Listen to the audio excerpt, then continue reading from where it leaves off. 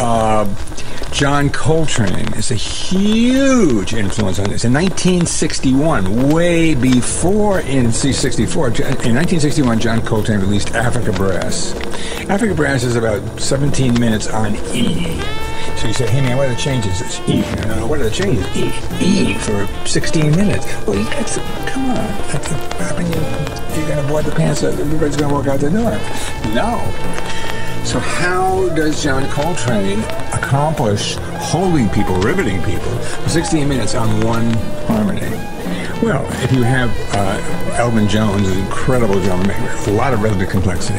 If you work with Eric Dolphy, who scored for a lot of brass instruments, including French horns, doing these whooping elephants through the jungle glissandos to, to begin the piece.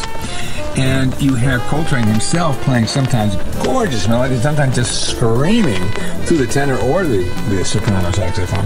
You have melodic invention, you have rhythmic invention, and you have timbral invention, and they supply the interest and the, and the constant harmony just sort of builds the tension.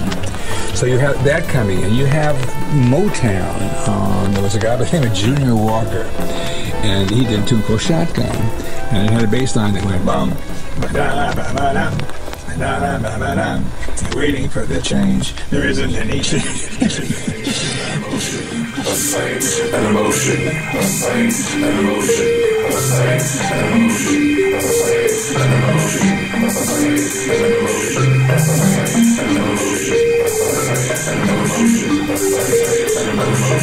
emotion.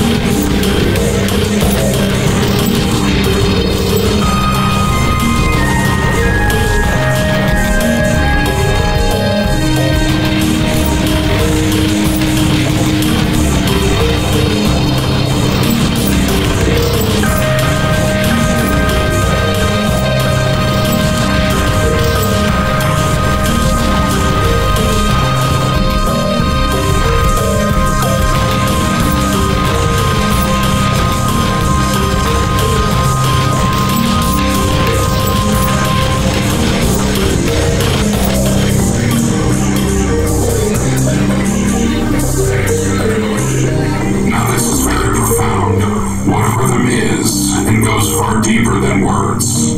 A sight, an emotion, creates this wave in the mind long before it makes words to fit. This is very profound.